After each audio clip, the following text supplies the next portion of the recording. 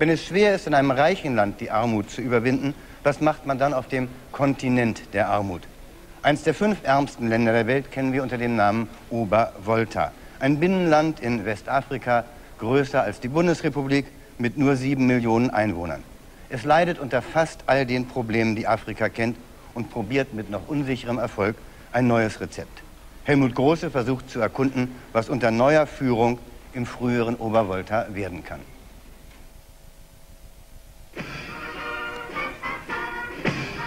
Vor zwei Jahren putschte er sich an die Macht, Hauptmann Thomas Sankara. Mit 35 Jahren der zweitjüngste unter Afrikas 25 Uniformträgern im höchsten Regierungsamt. Der Bevölkerung versprach er aufzuräumen mit Korruption und Schlamperei. Und zum Beweis, dass er es ernst meinte, gab er dem Land einen neuen Namen. Aus Obervolta wurde Burkina Faso das Land der Unbestechlichen. Unbestechlich in der Tat scheint er geblieben, auch heute nach 21 Monaten im Amt.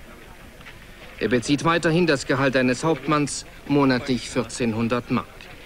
Zweifel des Berichterstatters räumte er aus, indem er Einblick in seine Kontoauszüge gewährte.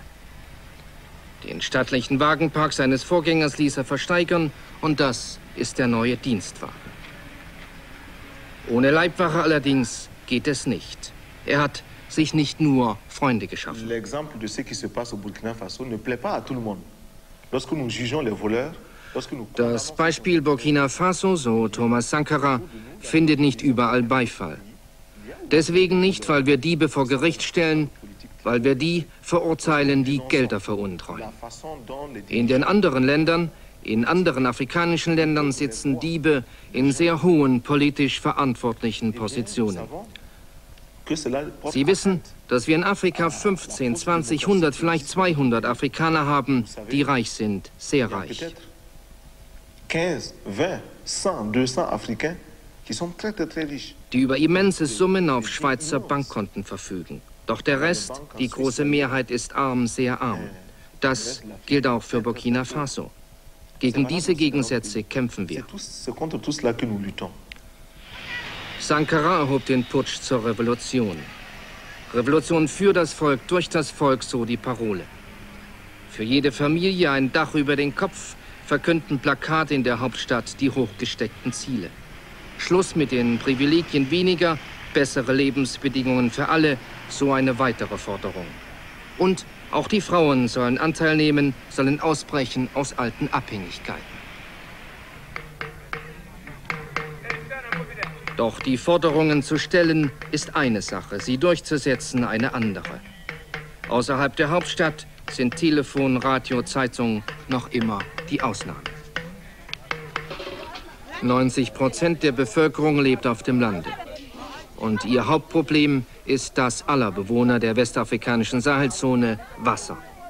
Anhaltende Dürre hat den Grundwasserspiegel immer tiefer sinken lassen. Längst ist das kostbare Nass hier in Kiambara rationiert und mit einer Schöpfgebühr belegt. Kein Regen, keine Ernte, das ist der Teufelskreis, auch in Burkina. Revolution ein Begriff, mit dem sie sicher wenig anzufangen weiß. Für sie zählt, ob sie heute und ob sie auch noch morgen genug Hirse zu essen hat. Gegen die Landbevölkerung könnte Sankara zwar regieren, aber nicht seine ehrgeizigen Reformen verwirklichen. Zur Durchsetzung seiner Politik hat er überall im Lande Komitees zur Verteidigung der Revolution gebildet. Parteien sind seit dem Putsch verboten. Die Mitglieder treffen sich, um gemeinsame Probleme zu erörtern und um neue Dekrete der Regierung, das heißt des Revolutionsrates unter Sankara, entgegenzunehmen und anschließend für die Durchführung zu sorgen. Dass das funktioniert, sehen wir am nächsten Morgen. Für die Kamera in Szene gesetzt, der Verdacht liegt nahe. Doch ausländische Gesprächspartner, die das Dorf und seine Bewohner länger kennen, versichern, dass Gleiches auch an anderen Tagen und an anderer Stelle geschieht. Zu Hunderten schleppen sie über Kilometer hinweg Steine heran, Rohmaterial für den Bau eines Dammes, der in der Regenzeit helfen soll, in der Senke Wasser aufzustauen. Ein Projekt, initiiert und finanziert von der Welthungerhilfe und dem Deutschen Entwicklungsdienst aus dem Spendenerlös des Afrikatages. Unter Mitarbeit der Dorfgemeinschaft auf Beschluss des Komitees.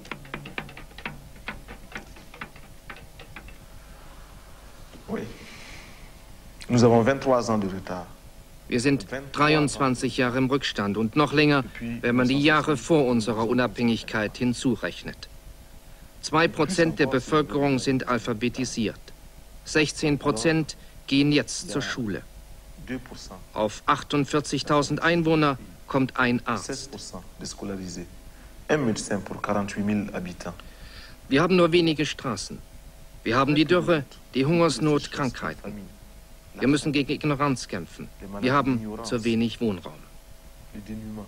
Wenn Sie all diese Probleme lösen wollen, dann sind Sie einfach gezwungen, den Leuten Tag für Tag zu sagen, zu arbeiten und nochmals zu arbeiten. Ich weiß, das ist schwierig, aber das gilt für alle, für die, die Verantwortung tragen, genauso wie für alle anderen. Wir alle müssen mit anpacken.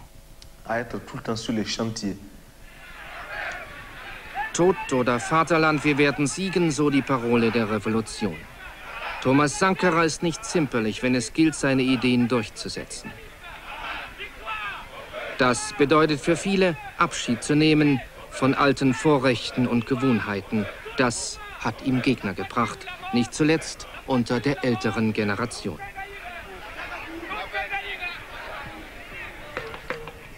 Noch residiert in der Hauptstadt der Moronaba der traditionelle Herrscher über die Mossi, der größten Stammesgruppe des Landes. Und noch immer spielt sich allwöchentlich das gleiche Zeremoniell ab, unverändert seit 400 Jahren. Würdenträger des Mossi-Reiches versuchen, ihren Herrscher davon abzuhalten, den Königssitz zu verlassen, mit Erfolg. Der Herrscher bleibt, alles, so soll das wohl heißen, bleibt unverändert. Das aber steht im Gegensatz zu den revolutionären Vorstellungen der jungen Führungsmannschaft unter Sankara. Sie will gesellschaftlichen Wandel, eine neue Moral und alles lieber heute als morgen.